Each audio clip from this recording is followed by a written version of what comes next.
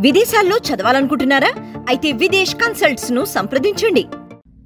నిన్న హైదరాబాద్ మేయర్ పలికిన మాటలను నేను తీవ్రంగా ఖండిస్తున్నాను. పోలీసులు వచ్చారు.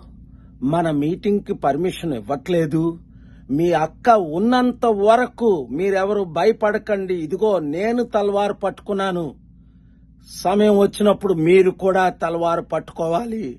పట్టుకుంటారు. ఒక ఫస్ట్ సిటిజన్ అంటే కోటి మందికి ప్రథమ మహిళ.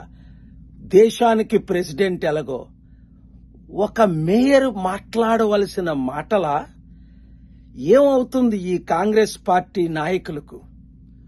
మొన్న కొండా సురేఖేమో అందరినీ ఇష్టం వచ్చినట్టు తిట్టింది. మహిళల్ని కిన్నపరిచింది కుటుంబాల్ని హీనపరిచింది. ఆవిడ్ని రాజీనామా చేయమంటే చేయదు. మంత్రి పదవి నుంచి తొలగించమంటే రాహుల్ గాంధీ గాని రేవంత్ రెడ్డి గాని పిసిసి చీఫ్ గాని ఎవ్వరూ పట్టించుకోరు. అసెంబ్లీలో కాంగ్రెస్ ఎమ్మెల్యే దానం నాగేంద్ర ఒక గూండా రౌడిజంగా బూతులు తిడుతుంటే అక్కడ స్పీకర్ పట్టించుకోరు. అంతకంటే ముఖ్యం ఈ పోలీస్ అధికారులు ఏం చేస్తున్నారు? కొన్ని సంవత్సరాల క్రిందట ఎంఐఎం ఎమ్మెల్యే ఒకసారి దీన్ని మాట్లాడితే కళ్ళు మూసుకోండి పదిహేను నిమిషాలు మా సత్తా చూపిస్తామంటే ఆ కాలంలో ఆయన్ని ఇమీడియట్గా అరెస్ట్ చేసి అనేక నెలలు జైల్లో పెట్టి ఏం జరిగిందో మనకు తెలుసు. అంటే అధికారంలో ఉన్నవారు గోండాయిజం చేసినా రౌడీజం చేసినా పట్టించుకోరు. అంటే ఇచ్చిన వాగ్దానాలు నెరవేర్చినందుక ఇదంతానా డిస్ట్రాక్షన్? మహిళలకు ఇచ్చిన వాగ్దానం రెండు వేల ఐదు వందలు. కాంగ్రెస్ పార్టీ చేయలేదు కదా? నిరుద్యోగులకు నాలుగు వేలు అన్నారు. ఇవ్వలేదు కదా?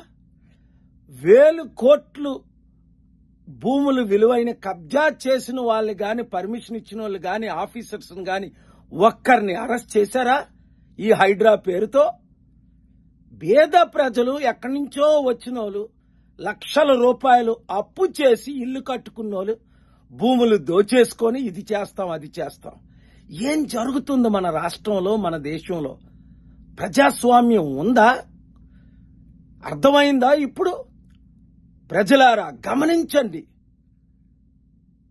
ఎక్కడికి వెళ్తున్నాం? Where is the democracy where is the secularism our states and country is being turned into dictatorship or what పోలీసులు ఎందుకు తక్షణమే వీళ్ళని అరెస్ట్ చేయట్లేదు? యథా రాజా తదా ప్రజా యథా మంత్రి వీళ్ళు మంత్రులయ్యుండి మేయర్లయ్యుండి నాయకులయ్యుండి ఆడవలసిన మాటల ఆలోచించండి. ఒక డీసెన్సీ ఉందా? డెకోరం ఉందా? మెయింటెనెన్స్ ఉందా? ఒక రోల్ మోడల్షిప్ ఉందా? చీచీచి అనిపిస్తుంది.